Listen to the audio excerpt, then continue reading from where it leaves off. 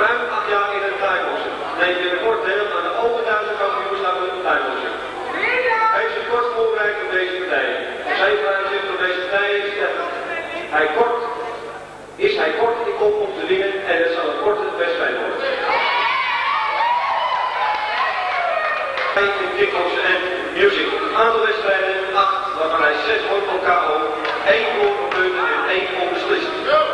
Train ruim 3,5 jaar bij Nivor Simon Trekken. En zijn trainer Dennis Evans zegt hij dat deze een van de beste trainers is van Engeland. Favoriete technieken zijn de spinning backing, linkerhoek en verder alle andere technieken waar hij iemand maar mee pijn kan doen.